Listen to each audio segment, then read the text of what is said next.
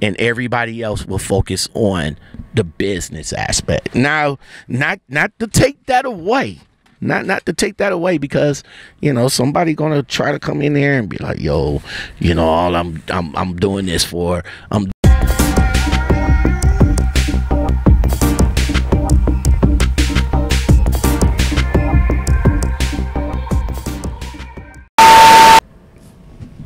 Yo, yo, check one, two. What's going on? What's going on, y'all? How y'all feel today? This is Lockout Man. Welcome. Welcome to the Lockout Man podcast show, the show that is for new drivers, the new jets, the new students, the people that is find my content any of value. You know what I'm saying?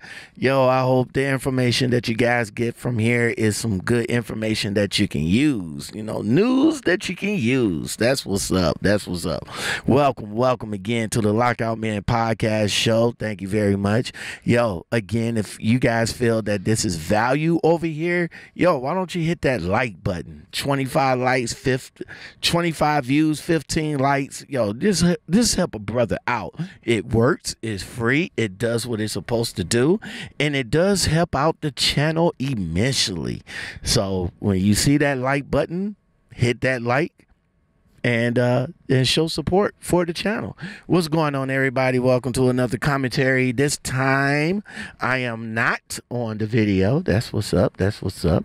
But I did come across this post that I want to bring up to you guys and I think this goes for all new drivers that's thinking about being an owner operator or thinking of going lease. Look, I I know you guys see the money the money is there. The money is to be made in leasing. Some leases you just get in and go, grab your money and get right back out. Some leases helps you towards being an owner operator of the truck. Some leases are good and definitely some leases are bad, but just make sure that you learn the business first, all right? So I just want to say from this post that I saw on YouTube, not YouTube, I'm sorry, this post on Facebook, this post on Facebook, man, it, it's it's a good post. It's something that you guys should should try to understand when you're thinking about going to be an owner operator or a lease operator. So before you become an owner operator, don't just see the dollar signs. That's that's what you guys see, y'all. Every time I ask the question like, "Yo, you know, why are you going lease?" Oh, well, because you know the money is there. And then when you see other drivers that's talking about leasing or or or trying to become an owner operator, the first thing they talk about is the money, how much money that they're making how much money that they're getting. But they but what they fail to tell you guys is that they tell you all the good, but they're not telling you the bad though. You you, you got to know some of the bad that comes with it. What's the bad? What what'll happen if I break down? What'll happen if if the truck ain't running? What'll happen if uh again would I be able now being an owner operator? I will have to go and and and get another truck, i.e., rent another truck while my truck is in the shop for however long. But if you with another company, how is that going to work out? If your if your lease truck is in the shop, is they going to give you a a, another truck that you can roll until then? And if so, are they going to charge you additional fees like renting or anything of that matter? While your truck is in the shop to drive that loaner truck until your truck comes out of the shop. See, those are things you should know. Those are things you should find out. Uh, fuel. Fuel is your big expense. It is huge. That's if anything that's on a truck that is a big expense, it is fuel. You definitely, definitely got to know what your fuel what, what what your fuel is if you go like two, three hundred miles, how much fuel you going to use to go those two, three hundred miles? You don't want to, you you don't want to put like eight, eight hundred dollars, four, five, six hundred dollars in your truck on fuel and and the load that you're picking up is not even going to cover that. You need if you get like a five hundred dollar load, then your your fuel cost should be at least a quarter or a third of that. So at least you can have a profit. All right. Learn the game first. Learn it. Learn it. It's not hard to learn. You got all these you got all these so-called gurus out here that that that's quote unquote helping you build a trucking company. You know, you you might want to listen to them, and you might not want to listen to them. I'm just saying. I'm just saying. Have your ears, have your ears open and be teachable. Yes, definitely be teachable. You gotta, you you can't do too much talking. That's that's the problem with with some of these new school drivers that's coming into the industry I'm I'm gonna revert back to like when they first come in and then they training and then the trainer is trying to teach them, you know, how to drive the truck, how the truck moves and all like that. But you're over there sitting like, oh well, I know all of this, I know all of that, and and and, and you, you you can't teach me what I already know. But it, look, if if if you're not open, okay, if you're not open to get more knowledge then you don't need to be in the truck. You don't need to be in the truck. You need to put your keys down. You need to put your keys down, hang it up on the wall, and call it a day, bro. But you should always, always be teachable. You should always be teachable. And you should always have your ears open no matter what you do. You know what I'm saying? No matter what you do, you should always have your ears open. All right, sorry for that little timeout right there. My uh, my safety director came out so that we can uh, get our Samsara back together. You know, the Samsara, uh, the e-log that's on that's the app that's on the tablet. I really like this app as far as keeping track of your e-logs and everything because if it's messed up on a tablet, you definitely could download it to your phone and keep track of it that way. Just make sure, just make sure that you know you have your credentials set and everything in so that you can uh, so that you can keep track of your hours of service and all that other good stuff. So, Samsara shout out to my fleet manager. I mean, not my fleet manager. Shout out to my safety director. Thank you for getting your boy back together. Let's get back at it, man. Um, what I was saying about teachable moments, be teachable you know don't just be an asshole keep your keep your eyes open your ears you know you, keep your eyes open your mouth shut and your ears open so you can catch every little information that's usable to you all right Keep your ears open and be teachable.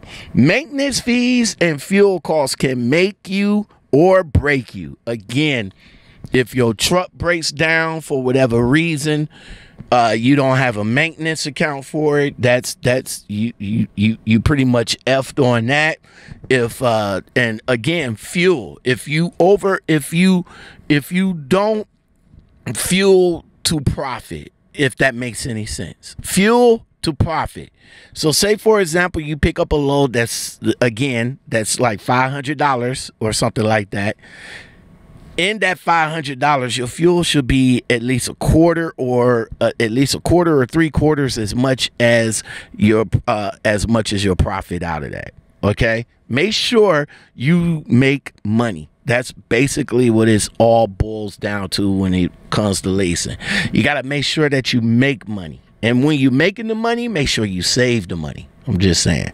Your everyday fuel spending, okay? Everyday fuel spending. So you got to you got to figure out how you're to do your fuel versus whatever load that you're to pick up, all right? Just make sure you learn that.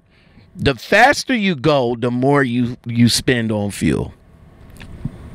True you know i'm a company driver so i do about i do about 70 on the highway you know right quick in a hurry you you know if you want to be fuel conscious i mean fuel conscious you probably might want to do 65 you know the slower you go the more fuel you save think about that And this is for people that's jumping into leasing, that's jumping into owner operating. You're going to have to learn that. You know, sometimes you might have to learn it the hard way, but if you come over here to this channel, we try to alleviate that for you so you won't have to learn it the hard way. All right. Now, build a relationship with your dispatcher and broker. Yes, definitely build a relationship the relationship between you and the dispatcher if it's a great relationship between the two then your time with the company is going to be freaking awesome all right if you get a good dispatcher that knows how you run that knows that that knows what you want and how to do it then you and that dispatcher is going to be good. Now, if you get a dispatcher that just don't care, that messes you around, that messes with your money, you don't need that dispatcher. You don't need to be with that company. You need to jump ship. Try to get with a company that that has dispatchers there that's that's that knows what you want and how you want and and and how much and, and not to mess with your money. All right. Same thing with the brokers. You you get a you get a messed up broker that's not giving you a load to uh, that you could get a profit out of, you don't need to mess with that broker. All right. Leave that broker alone. All right. Now, check this out. All right. All right. I know that you want to jump into this and be like, yo, I want to do this all by myself. I want to do this. I don't want to. I don't want to. You know, this, that, the third. I don't. I don't. No, no, no, no, no, no, no, no, no, no, no, no. Get some help, my G. All right, get some help. It's not. It's not bad to ask for help. It's not bad to ask for help at all. You you know, you want to be the driver, you want to be the commander, you want to be you want to be the this, that, and the third. You want to be all of that, but you you're gonna need some help and and the type of help I'm talking about, get yourself a CPA because you're going to need somebody to handle them taxes. You're a truck driver. You might not be able to handle that by yourself. you know what I'm saying? Get uh if if if unless you're a CPA yourself, you know, but you might not can handle that yourself. I'm just saying. Uh, get yourself a CPA, handle the taxes. All right, get yourself to get yourself somebody that can handle the paperwork. Get get yourself uh, now, I, as I said before about a dispatcher, especially if you're an owner operator, because a lot of you guys like to dispatch yourselves, you know. But if you have somebody to, you know, get the loads for you, that takes the stress off of you. Think about think about these celebrities and these ball players and all like that, these sports stars and all like that. They got assistants. They got people that help them to go through their everyday life. Like all LeBron has to do is concentrate on basketball. Period. Basketball. That's it.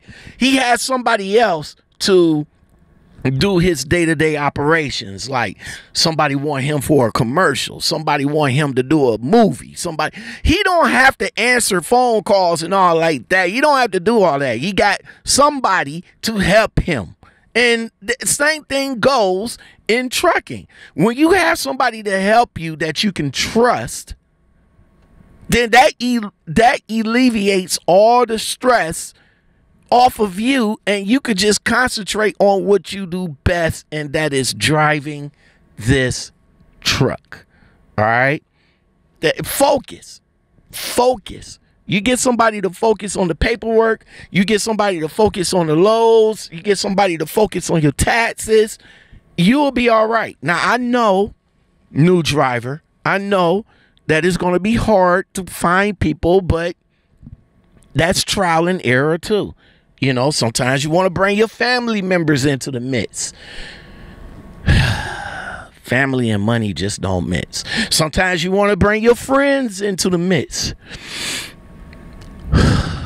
family i mean friends and money don't even mix you you just i know it's going to be trial and error but when you find somebody good that knows what they're doing and how and how they're doing it that's the person you needs to be on your team all right all you have to do is to focus on your driving and everybody else will focus on the business aspect now not not to take that away not not to take that away because you know somebody gonna try to come in there and be like, yo, you know, all I'm I'm I'm doing this for I'm doing this for ABC trucking and all like that, but you know I'm trying to slide some money. Mm-mm, mm-mm. Don't work. Don't work. Uh-uh. No, don't slide the money, bro. Yo, you do what you're supposed to do. And if you start messing up, then I'm gonna have to get somebody else. I'm gonna have to get somebody else, you know? But in any case, in any case, new driver, you want to become a owner operator or a lease driver. Hopefully, this advice or this, you know, hopefully this advice or you know or what I just stated help you out. I hope it does. And if anything else that you may need, reach out to me and I will try to help you out and to, and and get you to be a successful uh truck driver out here. All right.